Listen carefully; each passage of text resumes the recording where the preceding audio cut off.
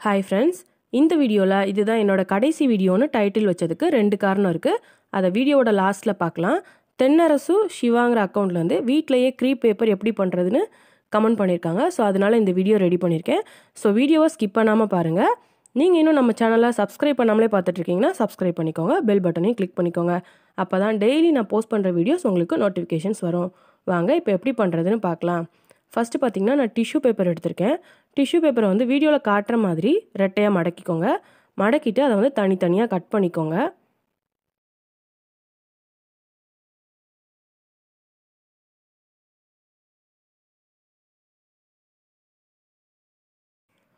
இது வந்து இந்த மாதிரி நீல வாக்கில் உங்களுக்கு தேவை அப்படின்னா ரெட்டையாக கட் பண்ணிக்கோங்க. இல்லை அந்த டிஷ்யூ பேப்பர் இருக்கிற ஷேப்லேயே உங்களுக்கு தேவை அப்படின்னா அப்படியே கூட நம்ம யூஸ் பண்ணிக்கலாம். அடுத்து வந்து பார்த்திங்கன்னா ஒரு பாலித்தீன் பேப்பர் எடுத்திருக்கேன். இந்த பேப்பரில் வந்து இந்த க்ரீப் பேப்பர் நமக்கு என்ன கலரில் தேவையோ அந்த கலரோட பெயிண்ட் எடுத்துக்கோங்க. அல்லது ஃபுட் கலர் கூட எடுத்துக்கலாம். அந்த பெயிண்ட் எடுத்துகிட்டு கொஞ்சமாக அதில் தண்ணி ஆட் பண்ணி நல்லா மிக்ஸ் பண்ணிக்கோங்க. நமக்கு வந்து கலர் டார்க்காக வேணும்னா பெயிண்ட் அதிகமாக ஆட் பண்ணி தண்ணி கம்மியாக ஆட் பண்ணுங்கள் கலர் வந்து லைட்டாக வேணும்னா நல்லா தண்ணி நிறைய ஆட் பண்ணி வீடியோவில் காட்டுற மாதிரி இதை நல்லா மிக்ஸ் பண்ணிக்கோங்க. இந்த மாதிரி பெயிண்ட் வந்து ரெடி பண்ணிவிட்டு நம்ம கட் பண்ணி வச்சுருக்க டிஷ்யூ பேப்பரை வந்து அந்த பெயிண்ட் மேலே நம்ம அப்படியே வச்சிடலாம் அந்த டிஷ்யூ பேப்பர் வந்து அப்படியே பெயிண்ட் உறிஞ்சிரும். வீடியோ பார்க்கும்போது உங்களுக்கே தெரியும்.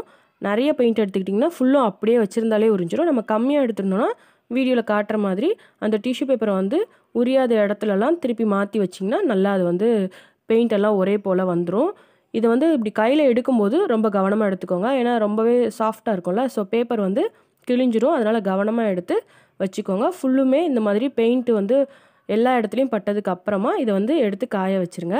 இந்த மாதிரி காய வைக்கிறதுக்கு இந்த மாதிரி கேக் அட்டை கூட நம்ம யூஸ் பண்ணலாம். ஏன்னா கேக் அட்டை மேலேயும் மேலே வந்து அந்த பாலித்தீன் பேப்பர் மாதிரி இருக்கும்ல. ஸோ பேப்பர் வந்து அந்த பெயிண்ட்டை வந்து உரியாது. ஸோ இப்படி கூட நம்ம யூஸ் பண்ணிக்கலாம். அடுத்து க்ரீன் கலரில் இன்னொரு டிஷ்யூ பேப்பரில் க்ரீப் பேப்பர் ரெடி பண்ணலாம். இதுக்குமே பெயிண்ட்டும் தண்ணியும் ஆட் பண்ணி இந்த மாதிரி டிஷ்யூ பேப்பரை மேலே வச்சிங்கன்னா அதுவே உறிஞ்சிரும்.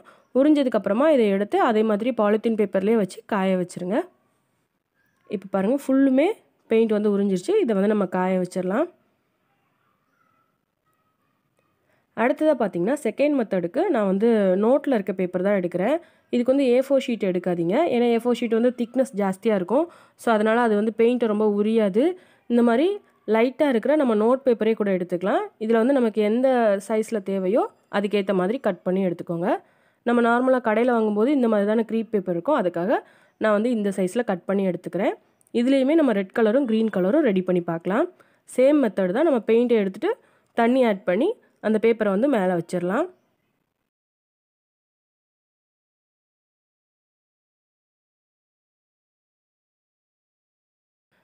இதில் பார்த்திங்கன்னா இந்த பேப்பர் வந்து அந்த பெயிண்ட்டை உரியறதுக்கு ரொம்பவே டைம் எடுக்கும். ஏன்னா இது வந்து டிஷ்யூ பேப்பரோட கொஞ்சம் திக்னஸ் ஜாஸ்தியானதில் அதனால் கொஞ்சம் டைம் எடுக்கும்.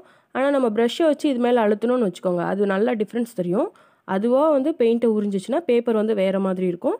நம்ம ப்ரஷ்ஷை வச்சு அது மேலே அடித்தோன்னா அது வேறு மாதிரி இருக்கும். ஸோ அதனால் பெயிண்ட் வந்து அந்த பேப்பரை வந்து உரியிற வரைக்கும் வெயிட் பண்ணுங்கள் இதில் வந்து நம்ம ப்ரஷ்ஷை வச்சு லைட்டாக அழுத்தும் போது கொஞ்சம் வேகமாக அந்த பெயிண்ட் வந்து அந்த பேப்பரில் வந்து உறிஞ்சிரும். ஸோ அதுக்காக நான் வந்து ப்ரஷ்ஷை வச்சு லைட்டாக அழுத்தி விட்டுருக்கேன்.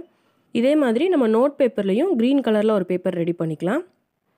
டிஷ்யூ பேப்பரை அந்த பெயிண்டில் வைக்கும்போது இருந்ததுக்கும் இந்த நோட் பேப்பரை வைக்கும்போதுக்கும் நமக்கு நல்லாவே டிஃப்ரென்ஸ் தெரியும். ஏன்னா டிஷ்யூ பேப்பர் வச்ச உடனே டக்குன்னு அந்த பெயிண்ட்டை வந்து உறிஞ்சிரும். ஆனால் நோட் பேப்பர் வந்து அந்த அளவுக்கு வேகமாலாம் உரியலை. ஸோ ரொம்பவே டைம் எடுக்கும்.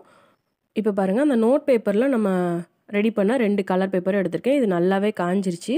இந்த மாதிரி நல்லா காஞ்சதுக்கப்புறமா எடுத்து வீடியோவில் காட்டுற மாதிரி இதை வந்து மடக்கிக்கோங்க. இது வந்து பாதி காஞ்சதுலேயே நீங்கள் இந்த மாதிரி எடுத்து மடக்குனிங்கன்னா கண்டிப்பாக பேப்பர் வந்து கிழிஞ்சிரும். ஸோ அதனால் நல்லா காஞ்சதுக்கப்புறமா எடுத்து வீடியோவில் காட்டுற மாதிரி இதை வந்து நல்லா மடக்கி விட்டுக்கோங்க.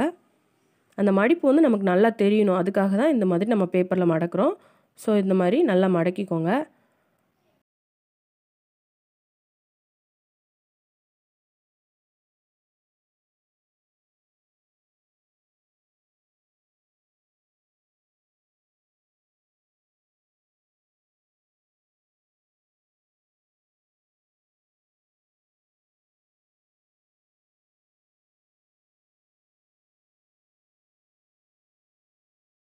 இந்த க்ரீன் பேப்பரை வந்து நம்ம எப்படி மடக்கி ரெடி பண்ணுமோ அதே மாதிரி நம்ம அந்த நோட் பேப்பரில் ரெடி பண்ணால் ரெட் கலர் பேப்பரையும் இதே மாதிரி மடக்கி ரெடி பண்ணிக்கோங்க.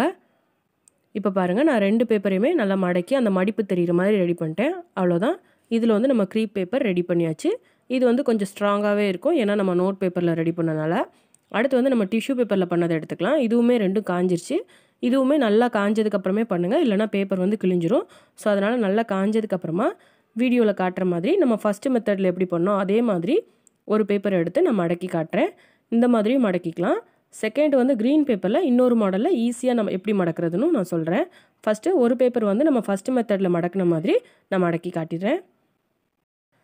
அடுத்ததாக செகண்ட் மெத்தடில் வந்து இதை எப்படி மடக்கலாம் அப்படின்னா வீடியோவில் காட்டுற மாதிரி அந்த க்ரீன் கலர் பேப்பரை வந்து ஒன்று போல் மடக்கிக்கோங்க. மடக்கிட்டு இது ரெண்டு கைக்கும் நடுவில் வச்சு சும்மா தேய்ச்சிருங்க லைட்டாக தேய்ச்சிங்கனாலே அந்த டிஷ்யூ பேப்பரில் வந்து அழகாக மடிப்பு வந்துடும் நமக்கு வந்து ஒரிஜினல் க்ரீப் பேப்பர் மாதிரியே கிடைக்கும். ஸோ கண்டிப்பாக இந்த மாதிரி ஈஸியாக நம்ம வீட்டிலையே க்ரீப் பேப்பர் ரெடி பண்ணலாம். ரெண்டு மெத்தடில் நம்ம வந்து ரெடி பண்ணோம். ஃபஸ்ட்டு மெத்தடோட செகண்ட் மெத்தட் தான் ரொம்ப பெஸ்ட்டாக ரிசல்ட் வந்திருக்கு. ஸோ கண்டிப்பாக டிஷ்யூ பேப்பரில் நீங்களும் இந்த மாதிரி ட்ரை பண்ணி பாருங்கள் இப்போது ரெட் கலர் பேப்பரையும் க்ரீன் கலர் பேப்பரையும் பாருங்கள் நம்ம நிஜமாவே கடையில் வாங்குகிற பேப்பர் மாதிரியே நமக்கு வந்து ஓரளவுக்கு அந்த லுக்கு வந்து வந்திருக்கு. ஸோ கண்டிப்பாக நீங்களும் ட்ரை பண்ணி பார்க்கலாம் இப்போ வந்து நம்ம ரெடி பண்ண அந்த க்ரீப் பேப்பர்லேயே கிராஃப்ட் பண்ணி பார்க்கலாம் இதில் வந்து நான் ஒரு ஃப்ளவர் பண்ண போகிறேன் வீடியோவில் காட்டுற மாதிரி இதை வந்து மடக்கிக்கோங்க. மடக்கிட்டு கொஞ்சம் அதிகமான கேப்பில் கட் பண்ணிக்கோங்க. இந்த மாதிரி கட் பண்ணிவிட்டு அந்த கட் பண்ண ஒவ்வொரு பீஸ்லேயும் அதோட கார்னரை வந்து மடக்கி விட்டுக்கோங்க. மடக்கி விட்டுட்டு இதை வந்து வீடியோவில் காட்டுற மாதிரி பிரிச்சுருங்க. பிரிச்சுட்டு திருப்பியும் நம்ம வந்து மடக்கி இருக்கும்போது ஒரு கார்னரில் வந்து மடக்கி விட்டுருப்போம். அந்த பேப்பரை வந்து பிரித்ததுக்கப்புறமா இன்னொரு கார்னரில் வீடியோவில் காட்டுற மாதிரி மடக்கிக்கோங்க.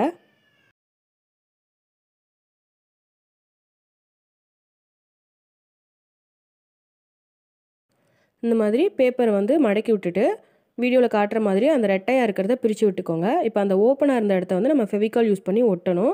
ஸோ லைட்டாக ஃபெவிகால் அப்ளை பண்ணிவிட்டு இதை வந்து மடக்கி வீடியோவில் காட்டுற மாதிரி ஒட்டிடுங்க ஒட்டிட்டு இதை வந்து ஒரு டூ மினிட்ஸ் காய விட்டுருங்க. அப்போ தான் அது வந்து நல்லா ஒட்டிக்கும். நமக்கு கிராஃப்ட் பண்ணும்போது ஈஸியாக இருக்கும். இந்த மாதிரி ஒட்டிட்டு இதில் வந்து சைடில் வந்து நான் ப்ரஷ் வச்சேன் ஃபஸ்ட்டு ப்ரஷ் வச்சு பண்ண முடியல. ஸோ அதனால் இந்த மாதிரி குச்சி சின்ன குச்சியாக கட் பண்ணி எடுத்திருக்கேன். இந்த மாதிரி ஒல்லியாக இருக்கிற எந்த குச்சி வேணாலும் நம்ம எடுத்துக்கலாம். இதை வந்து வீடியோவில் காட்டுற மாதிரி கரெக்டாக அந்த கட் பண்ண இதுக்குள்ளேருந்து வெளியில் வராமல் அதோட ஒட்டினதுக்கு மேலே இருக்கிற மாதிரி பார்த்து உங்களுக்கு வீடியோ பார்க்கும்போது புரியும்னு நினைக்கிறேன். கரெக்டாக கடைசி வரைக்கும் எடுத்துருங்க. எடுத்துகிட்டு இதை வந்து மொத்தமாக சேர்த்து அழுத்தி விட்டுக்கோங்க. அதாவது அந்த ஃப்ளவர் லுக்கு கிடைக்கிறதுக்காக நம்ம இந்த மாதிரி பண்ணுறோம் நம்ம கைட்டு கசக்கும் போது இந்த அளவுக்கு கிடைக்காது. ஸோ அதனால் இந்த மாதிரி குச்சி யூஸ் பண்ணி இதை வந்து கசக்கிக்கோங்க. அடுத்து வந்து நம்ம அந்த குச்சியவே அதோட ஸ்டார்டிங் எண்டில் ஃபெவிகால் வச்சு ஒட்டிடலாம். அப்படியே நீங்கள் வந்து ஃபுல்லுமே ரோல் பண்ணிடலாம். ரோல் பண்ணிவிட்டு அந்த பூவோட இதழ்களை ஒவ்வொன்றும் நம்ம விரித்து விட்டுக்கலாம். வீடியோ பார்க்கும்போது உங்களுக்கே புரியும்னு நினைக்கிறேன்.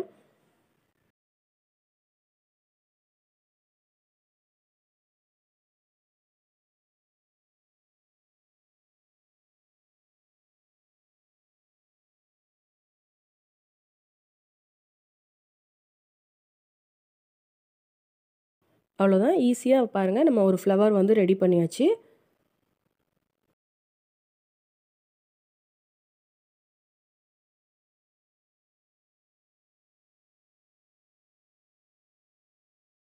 அடுத்து இந்த green colour crepe paper use பண்ணி நம்ம வந்து கீழே அந்த காம்பு அதோட லீவ்ஸ்லாம் இதை வச்சு நம்ம ரெடி பண்ணிடலாம்.